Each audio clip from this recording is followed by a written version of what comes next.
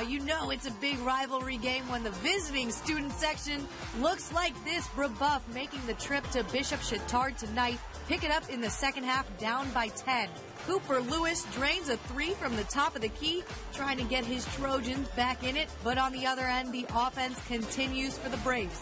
Simon Banks with a strong move to the rack. Later, Spencer Reist right in front of his own bench.